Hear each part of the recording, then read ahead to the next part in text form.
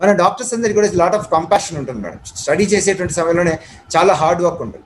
Dead body మీద చూస్తాం. అంటే మనిషి జీవితాన్ని చూస్తాం అన్నట్టు.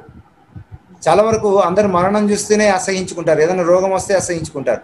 అటువంటిది వాటిని దగ్గర నుంచి చూడడం చేత మరణం కానీ పుట్టుక కానీ ఇవన్నీ చూడడం చేత మనకు జీవితం పట్ల ఒక అవగాహన ఉంటుంది. ఏదైనా కూడా ఒక స్పష్టమైన అవగాహన వస్తుంది. అంటే డాక్టర్ చదువుకోవడము అనేటువంటిది ఏదో డబ్బు సంపాదించడం కోసం అనేటువంటిది కాకుండా వారికి ఆ- లక్షణాలు వస్తాయన్నట్టు ఇప్పుడు నీవు దేవాలయంలోకి వెళ్తే లేదా మసీదులోకి వెళ్ళినా కూడా ఏం జరుగుతుంది? అక్కడ నీ ఇష్టం వచ్చినట్టు ఆలోచించేదానికి స్కోప్ ఉండదు అన్నట్టు. నువ్వు నీ ఆలోచనలు తగ్గిపోతాయి అన్నట్టు. లేదా దైవం మీదనే ఉంటుంది అన్నట్టు. అలాగే ఆ తీసుకున్నటువంటి వృత్తి ఏమవుతుందంటే ఒక హోలిస్టిక్గా మనకు కొన్ని లక్షణాలు కంపాషన్ అంటే ఇతరుల పట్ల దయ మనం పేషెంట్లతో ఉన్నప్పుడు ఎంత పేషెంట్గా ఉండాలి? అలాగే సమగ్రంగా అంటే ఉన్నటువంటి థియరిటికల్ నాలెడ్జే కాకుండా లైఫ్కి అప్లై చేసినప్పుడు మనం ఏ విధంగా దాన్ని స్టడీ చేయాలి? ఏ విధంగా గమనించాలి? ఇలా చెప్తూ పోతే చాలా చాలా లక్షణాలు. కదా? బ్లడ్ చూస్తే భయపడతారేమో ఎంతటి వాళ్ళైనా కూడా. ఇక్కడ ధైర్యం అనేటువంటిది ఉంటుంది. మరణించిన తర్వాత అందరూ ఏడుపు అనేటువంటిది ఉంటుంది. మనము ఏదో డిటాచ్మెంట్ ఏదైనా అంటాం. కానీ అటాచ్మెంట్లో ఉన్నప్పుడు కూడా డిటాచ్మెంట్ అనేటువంటి ఈ లక్షణాలు ఏవైతే చెప్తున్నామో ఆధ్యాత్మికత కావచ్చు లేకపోతే గొప్పదైనటువంటి దైవిక గుణాలు అనేటువంటివి ఏవైతే ఉన్నాయో అవన్నీ కూడా డాక్టర్స్ ఆటోమేటిక్గా వస్తాయన్నట్టు. వస్తాయి అన్నట్టు చదువుకుంటూ ఉంటే ఏ చదువు చదివితే అది వస్తుంది అన్నట్టు ఇవన్నీ కూడా దాంట్లో ఆటోమేటిక్గా డెవలప్ అయ్యేటువంటి లక్షణాలు. అయితే అంత చే ఈ లక్షణాలన్నీ డెవలప్ అయిన తర్వాత దీన్ని దేనికి ఉపయోగిస్తున్నారంటే ధనార్జన కోసం ఉపయోగిస్తున్నారు లేకపోతే ఒక పొజిషన్ కోసం ఒక పేరు కోసం అనేటువంటి మామూలు వ్యక్తులుగా కాకుండా దీని ఉన్నటువంటి లక్షణాలను ఒక టెన్ పర్సెంట్ వారిలో డెఫిషియెంట్గా ఉంటుంది. అన్నీ ఉన్నాయి. అన్ని మంచి లక్షణాలే ఉన్నాయి. ఏదైనా ఎమర్జెన్సీ వస్తే ఇమ్మీడియట్గా రెస్పాండ్ అవుతారు. పక్కన జీవిత భాగస్వామితో ఉన్నప్పటికీ కూడా ఎమర్జెన్సీ వచ్చిందనేసి ఇమ్మీడియట్గా పరిగెత్తారన్న అదే కదా మీకు నేను అప్పుడప్పుడు చెప్తుంటాను ఈ స్టోరీ చెప్తుంటాను. హాస్పిటల్ చాలా గొడవ అవుతుందంట. మా పిల్లవాడిని అడ్మిట్ చేసినారు మీరు మీరేమో ఇంకా డాక్టర్ రాలేదు అని గొడవ చేస్తూ కుర్చీలని విరగొడుతూ అంతా నానా రభస చేస్తున్నాడంట అనారోగ్యం పాలైనటువంటి కొడుకును అడ్మిట్ చేసినటువంటి తండ్రి. అంతే మామూలుగా ఉంటుంది వారికి. అంతలోనే డాక్టర్ హుటాహుటికి వచ్చాడు. లోపలికి ఓటి ఆపరేషన్ థియేటర్లో వెళ్ళాడు. సర్జరీ చేసి బయటకు వచ్చి మీ పిల్లవాడు సేఫ్ అని చెప్పి వెళ్ళిపోయాడు. అప్పుడు ఆ తండ్రి అయినా కూడా కోపం తగ్గలేదట. ఇంత లేటుగా వచ్చాడు. మాతో సరిగా మాట్లాడలేదు. అంతే కదా? డాక్టర్ మాతో మాట్లాడాలనుకుంటారు. కానీ డాక్టర్లు చాలా వరకు కూడా చేతల మనుషులే. యాక్షన్లోనే చూపిస్తుంటారు అన్నట్టు మాటల కంటే కూడా. ఎందుకంటే వారికి కూడా ప్రపంచం ఉంటుంది కదా. వారి వ్యక్తిగత ప్రపంచం ఉంటుంది వారి జీవితం కూడా ఉంటుంది. ఎప్పుడు ఇక్కడే ఉండాలనుకుంటే కుదరదు కదా. ఎంత మనం సేవ చేయాలనుకున్నా ఇంట్లో ఉన్నటువంటి జీవిత భాగస్వామి ఊరుకోరు కదా. పిల్లలు ఉన్నటువంటి అవసరాలు ఉంటాయి కదా. సో దాన్ని కూడా అటెండ్ చేయాలి కదా. వాళ్ళు కూడా మనుషులే కదా ఎంత దేవుళ్ళుగా పోల్చినప్పటికీ. అంటే అప్పుడు నర్స్ చెప్పిందట ఆపరేషన్ థియేటర్ ఉన్న నర్స్ వాళ్ళ అబ్బాయి చనిపోతే ఆ క్రిమేషన్ బూడ్చి పెట్టేటువంటి సమయంలో వచ్చినటువంటి ఆ ఫోన్కు కొద్దిసేపు అక్కడ ఆపేసి ఆయన ఇక్కడ వచ్చి సర్జరీ చేసి అక్కడికి వెళ్ళాడండి. కొడుకు దహన సంస్కారాలు లేకపోతే ఆ కార్యక్రమం చేయడానికని వెళ్ళాడు అని చెప్తే ఏడవడం ఒక్కటే తక్కువ అట ఆ తండ్రికి. అంటే ఇవన్నీ గుణాలు ఉంటాయి. అయితే ఈ మంచి గుణాలన్నీ ఉన్నటువంటి డాక్టర్లకు ఒక మెడిటేషన్ అనేటువంటిది. ఎలా అయితే మనం క్యూరేటివ్ హెల్త్ గురించి మాట్లాడుతున్నాం ప్రివెంటివ్ హెల్త్ అనే అందించడం అనేటువంటిది కూడా మనం జబ్బు రాకుండా జబ్బును రాకుండా మన ఆరోగ్యాన్ని కాపాడుకునేటువంటి విధానంలో మెడిటేషన్ అనేది చాలా ప్రముఖ పాత్ర వహిస్తుంది. ఎందుకంటే శారీరక ఆరోగ్యాలు మీరు అన్నట్టు మానసిక జనిత శారీరక రుగ్మతలు ఉన్నాయి కదా. సైకోసొమాటిక్ ఇల్నెసెస్ ఉన్నాయి కదా. More than ninety percent of the diseases మనసు బాగుంటే శరీరం బాగుంటుందని అన్నారు కాబట్టి.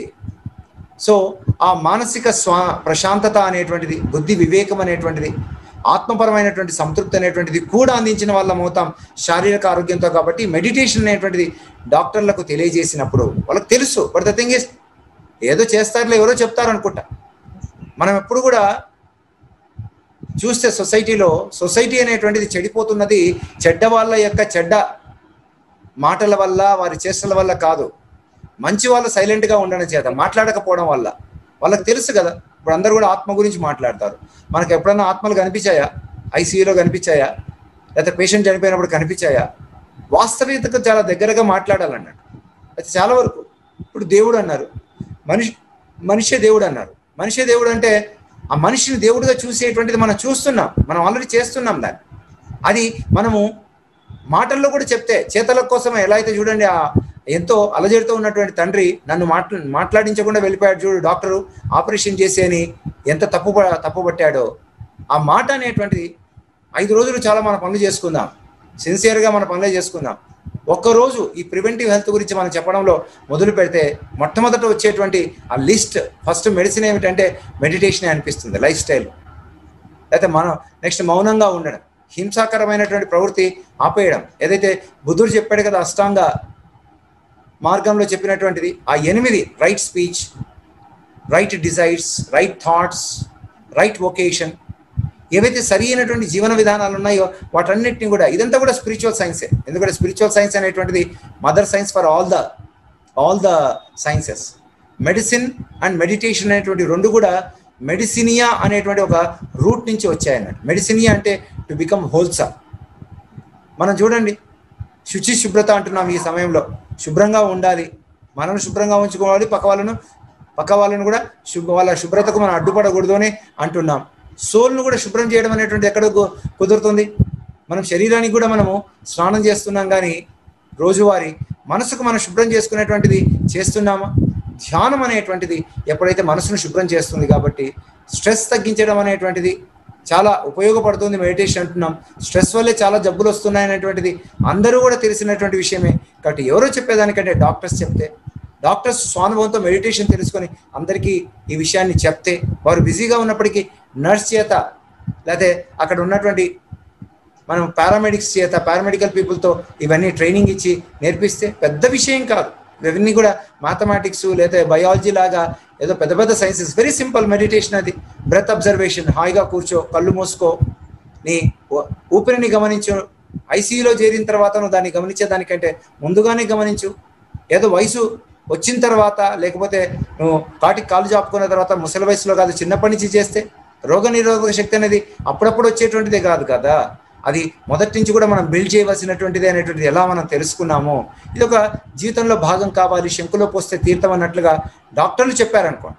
అందుకే డాక్టర్లు చూడండి ninety percent already they are perfect beings.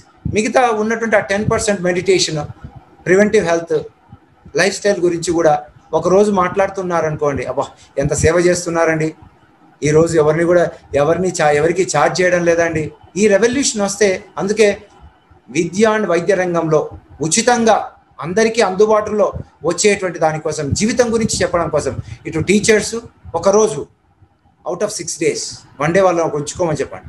Five days వారి కోసం బాగా కష్టపడి ఒక్కరోజు ఒక్కరోజు అందరి కోసం మేము ఉన్నామనేటువంటిది విద్యా వైద్య రంగంలో వస్తే అన్ని రంగాలు కూడా కరెక్ట్ అవుతాయండి. మనం అంతా కూడా రాజకీయ రంగం బాగాలేదు లేకపోతే అంత దొంగ బాబాలు ఉన్నారు లేకపోతే అందరు కూడా మోసం చేసే వాళ్ళే ఉన్నారు ఒక ధనవంతులు వారే ధనవంతులు అవుతున్నారు అందరూ పేదరికంగా ఉంటున్నారు అని మనం బయట తప్పులు వెతుకుతున్నాం కానీ ముఖ్యంగా విద్య అండ్ వైద్య రంగంలో ఉన్నటువంటి వారు ఈ ఏదైతే ఈ చెప్పినటువంటి మెడిటేషన్ కావచ్చు దీన్ని మనం చిన్న వయసుల్లో చదువు చెప్పేటువంటి వయసుల్లో విద్యాలయం ఎంత ఉపయోగపడుతుందో నొప్పి బాధ ఉన్నప్పుడు కష్టాలు ఉన్నప్పుడు ప్రాణం పోతూ ఉన్నప్పుడు వైద్యాలయం ఈ రెండు అనేటువంటి ఇక్కడ ఉన్నటువంటి పనిచేసేటువంటి టీచర్స్ కానీ అలాగే మనము డాక్టర్స్ కానీ ఈ ఎప్పుడైతే బాధ్యత చేపడతామని అందుకే I I focused more on medical fraternity. ఎంత పెద్దదండి? ఎన్ని హాస్పిటల్స్ ఎన్ని కాలేజెస్ ఎన్ని మనం చూసుకుంటే pharma industry nursing colleges paramedics what not అన్ని కూడా దీని చుట్టే ఉన్నాయి కదా. కాబట్టి ఇక్కడ ఫోకస్ చేస్తే వీరిని ఫోకస్ చేసే శంకులోకి వస్తే తీర్థం అనేటువంటిది ఎప్పుడైతే నాకు అనిపించిందో నా ఇన్నర్గా నా మెడిటేషన్ ఎక్స్పీరియన్స్ అనిపించిందో I started focusing on this IMA ద్వారా ఎన్నో చేశాము. ఐఎంఏ వారు కూడా నాకు వైద్య విభూషణ్ అనేటువంటిది వారి నుంచి రావడం అలాగే నేను టూ థౌజండ్ టూ నుంచి టూ థౌజండ్ ఫైవ్లో కర్నూలులో అసిస్టెంట్ ప్రొఫెసర్ సర్జరీగా ఉన్నప్పుడు ఈ సబ్జెక్ట్ అంతా అందరికీ అందిస్తుంటే గవర్నమెంట్ వారందరూ గవర్నమెంట్ ముఖ్యం కలెక్టర్ లేకపోతే ఎస్పీ వీరందరూ కూడా నాకు three times best doctor award ఇవ్వడం ఇవ్వడం కమెండేషన్ సర్టిఫికేట్.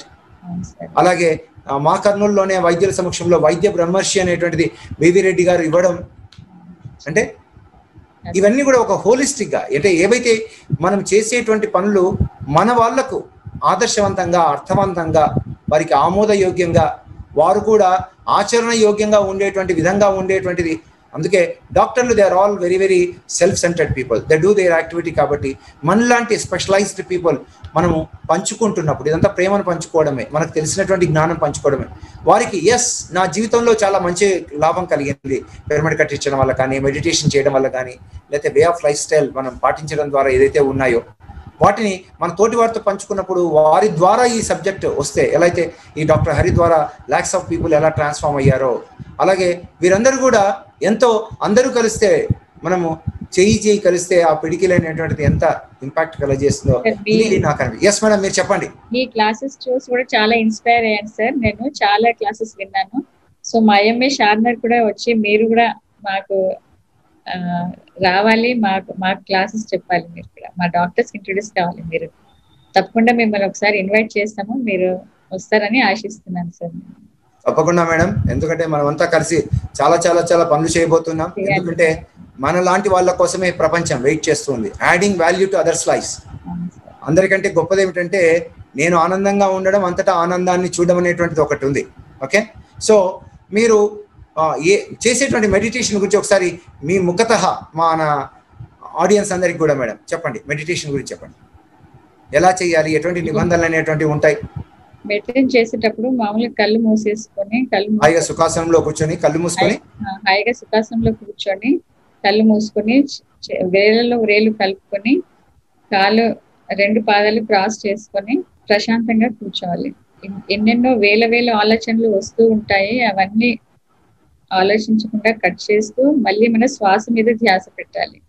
మన ధ్యాస అంతా కూడా శ్వాసను గమనిస్తుండాలి. ఎందుకంటే శరీరాన్ని మనసును ఆత్మను కలుపుతుంది కాబట్టి బయటి ప్రపంచాన్ని అంతర్ ప్రపంచాన్ని కలిపేది శ్వాసనే కాబట్టి మనకు ప్రాణం అంటే శ్వాస కాబట్టి దాన్ని పట్టుకోవాలి. ఏ మంత్రము ఏ దైవత రూపము లేదన్నట్టు ఎస్ మేడం తర్వాత క్రమక్రమంగా శ్వాస చిన్నదవుతూ భూమధ్యాన్ని చేరుకుంటుంది. ఎక్కడైతే ఇక్కడ చేరుకుంటుందో మనసు శూన్యమవుతుంది.